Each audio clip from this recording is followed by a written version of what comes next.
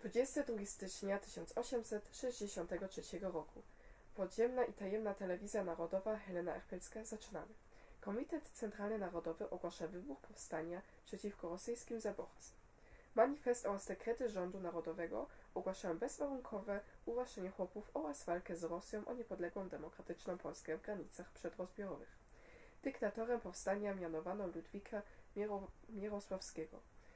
Panie generale, jaka jest pana strategia? Jak chce pan pokonać Rosję? Pokonanie Rosjan to trudna sprawa. Planujemy opanowanie Płocka, gdzie ujawni się rząd narodowy. Jest pan teraz w Paryżu. Kiedy przybędzie pan do Polski? Myślę, że będzie to około 17 lutego.